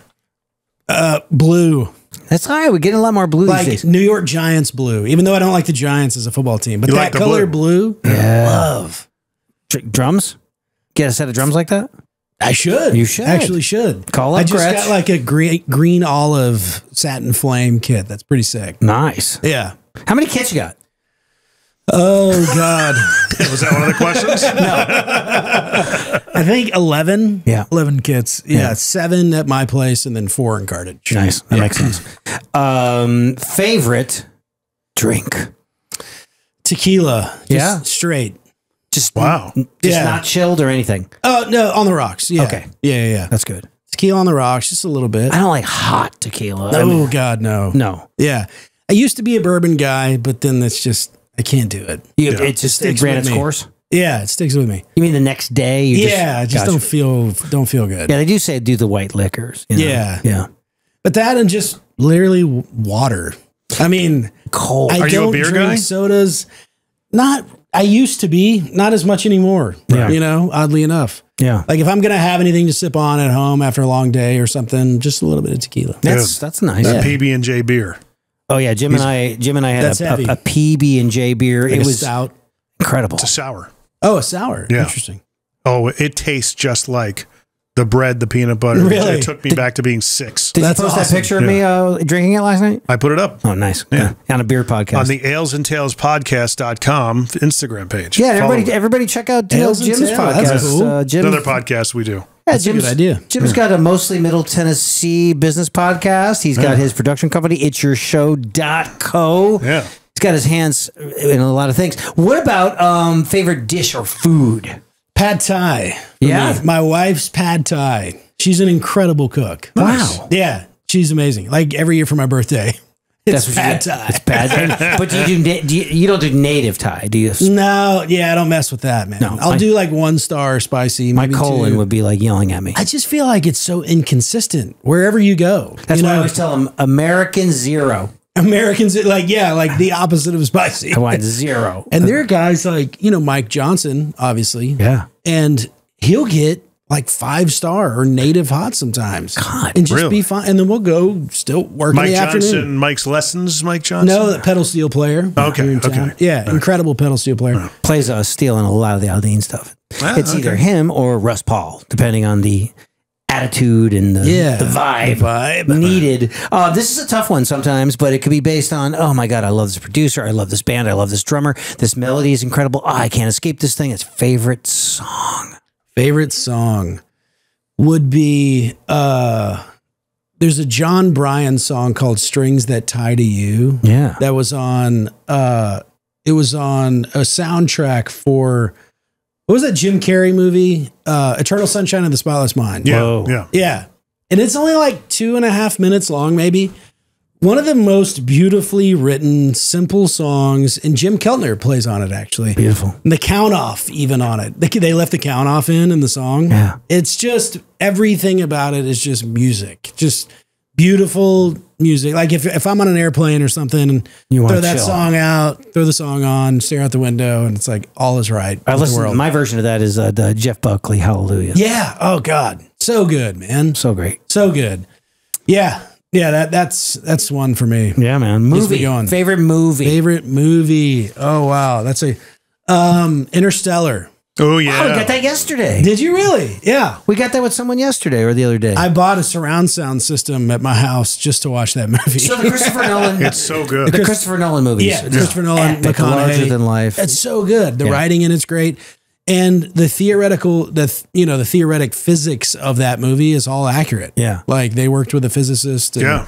I was really big into like like string theory and like the CERN, like Large Hadron Collider, and all that kind of stuff at that time. String cheese theory. Yeah, string cheese theory. Yeah, Quantum physics. Yeah. yeah. I mean, just like so are you a reader? Do you like? yeah, I don't not as much anymore. Um, I but was, yeah, I was a great reader until I met my band, and my Yeah. I, my IQ just dropped. It it's weird. Right. Yeah, It was crazy. My wife is a huge reader. I mean, she she could read all day, every day. She reads like hu- over a hundred books a year. wow. Wow. It's insane. That's cool. I don't you know how just she get the does hand me downs. yeah, and I'm just like, "What are you doing?" She's like, "Reading." Like, cool. I figured that. What what, what book are you reading? A book. Oh, okay, Yeah. great. Thanks. How long have you been married? Yeah, I was gonna say the same thing. Four years. See that? So not Oh, too gosh. long. Wow, but how long did you guys date? We dated for three years before that. Yeah. That's a good time. Yeah, yeah. she just she would know that she would have to explain the whole thing. How many She ki- would- how many I'm kids? just- Yeah. One kid. One kid. So yeah, one and one and done. Oh, are you gonna get snip snip? Already did. Get Did it? he do that? The, Done. you get the peas on the balls. It was yeah, it's perfect actually. I did it's, that. It's the like it's the cliche for a reason. Yeah. It's Yeah. like truly works. That's what the doctor said. Wow. I know. So you guys, you guys said this is where this is where. yeah, we had we had tried some more and just had some complications and work Yeah. out and, and even after we had our boy's name's Wyatt. He's a drummer already. What? Obviously, two I years old. Yeah. Already has his own little kid, and he can actually match tempo with you. Like I'll sit up, I'll sit him up on my lap. He'll play the ride or the hi hat, and I'll play everything else, and he'll keep time.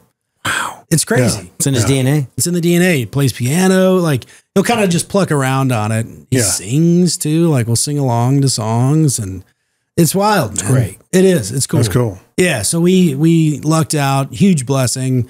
He's the best kid ever. So even after, I was like, man, I'm good. Yeah. I always wanted two kids or three kids or whatever. But it, whenever he showed up, I was like, we could be. Let's just spoil the we're hell out of good. this guy. Yeah, Yeah. This is Yeah. it. You know, Rotten, spoiled, rotten. spoiled. That's rotten. your job.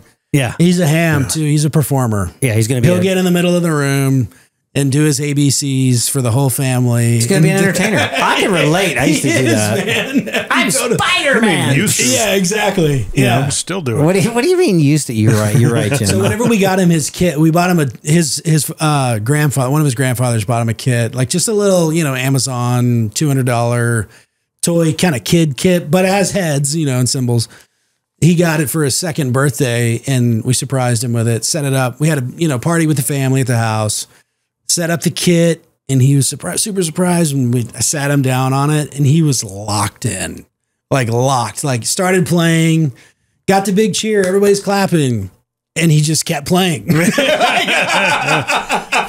he didn't stop, and You then we were finally cheering, like, that's your job. Okay, we're good now, buddy. Yeah, let's, let's take a break. Let's get off the drums. We have had enough. Oh my God. Hey, so uh, evanhutchings.com. EvanHutchings.com. That's And then it, you're man. active on the, the, the Book of Face, the Instagram. Yeah, all the socials. I'm on there. Yeah, I love that. And Yeah, then, uh, folks, if you are listening to country radio, Kenny Chesney, Reba McEntire, Luke Bryan, Jimmie Allen, Ronnie, it, you, Evan is on the drums. Yeah. It's good. Thankfully. It's really We good, We got man. Nate Smith. He's uh, top 10 right now. His his latest single, Bulletproof. And Bryan Martin, actually, too. Bryan Martin, yeah. Yeah. Opened up some shows We for ride. us. Yeah. That's top 10. I think he's eight or nine right now. Yeah. So So you occasionally Cool. follow the charts and be like, I do. Yeah. I like to see, I just like to see what's up, Where it how, up. how it's going, Yeah. like what's climbing, what isn't climbing, and not just songs I played Yeah. on. It's just kind of, it's interesting. Muso.ai. Yeah. Hey, so sometimes I'll be in the top uh, 0.01% of drummers in the world. You are like in the point, I mean, it's it's like you're always like in the top It is crazy. 50. I don't know how accurate that is. There's, there's no way. drummers on the planet. You know what I mean? yeah, it is. It's wild when I look that up, crazy. and it's like, If I'm in the mix somewhere, I'm like, that's cool. But I mean, the first couple of guys are like, know, you and Nir and Yeah. McHugh and it's cool. It's yeah. such a cool. Get your studio tans. and everybody's just the community, as you know, in this town is so tight, and everybody's cool. You Yeah. know, like I'll hit up Chris or whoever, like, hey man, and um, you know, let's grab lunch or whatever. You know, let's just hang. Or hey man, can you do this session for me? Or he'll do the same thing. Hey man, can you fill in or whatever? And and it's the the ego. I mean, you have everybody has an ego, like in a healthy way, usually, and some more than others. Polite competition in Nashville. Yeah, everybody's got each other's backs, which is cool. Big you know, Yeah. How long does it take to you feel like you're part of the community? I guess there's a lot of I think it's different for everybody. Yeah. You know, I think like once you play on a number one song, you're kind of like, okay, I'm I'm in the mix. You know, Yeah. this is cool. Yeah. Not everybody's done that. You know, and uh, you know, you people just start being more friendly to you. If you're Right. at like a drummer hang or something, you so just it's like a kind of notice meritocracy. you get a little bit more respect from people. Yeah. Right Like- this way, Mr. Hutchings. yeah, right. Preferential treatment at Bricktops. yeah. Don't you know who I think I am? for, for us, it's like preferential treatment at Bricks. There Pizza. you go. That's our treatment. hey man, I'll take that. Yeah, Bricks Pizza. day. Bricks Pizza. The deviled eggs at Brick Tops, man. With the, with the bacon With on the there. bacon yeah. on it. Dear God. Yeah, and they, they've got those uh, Shanghai shrimp Oh, with a Yeah. martini. I, I'll probably do that tonight before bus. you should. That's our. Yeah, uh, that's, a good our, call. That's our restaurant of choice when we go meet people. I know it's my spot now. That's a good spot. Guys, if you want to buy us a drink, you want to run into us, just the brick tops right there in Cool Springs. That's it, man. You'll see us there. Oh my god! Do you have any uh, fun like like uh, hobbies or things like you know cigars or, or Golf. I, I Oh, love yeah, you're the golf. golf guy. Yeah, I Yeah. do. I do the golf thing. That's kind of really the only other hobby thing that I do that I have time for. And Yeah. it takes. It can take up a lot of time. Hey, my dad plays four days a week, and he has four hole in ones. Hell, Really? that's amazing, man. My old Maybe man, four holes in one. Is that how you four say it? hole That's in like- ones. I actually got a hole in one on my bachelor party weekend in Wow. Scottsdale, Arizona. Nice. Cool. That's a great golfing town. It was amazing. yeah, with my brother-in-law and like some best friends. Scottsdale, yeah. I'm so happy that we finally got to do this, and uh, it, it it was worth it, man. It was worth the wait. Evan, thank you so much for being Thank here. Thank you man. so much for having me, man. Yeah, congratulations on- your work well, and what you do. So Likewise, man. it's an honor to be here, man. Fantastic. Thanks for being here. Folks, that's Evan Hutchings, evanhutchings.com. And You listeners, thanks for watching the show. Thanks for listening to the show. Be sure to subscribe, share, rate, and review. It helps people find the show. Jim, as always, thanks for your time and talent. Thank you, sir. And we'll see you guys next time. Thanks, Evan. This has been The Rich Redmond Show. Subscribe, rate, and follow along at richredmond.com forward slash podcasts.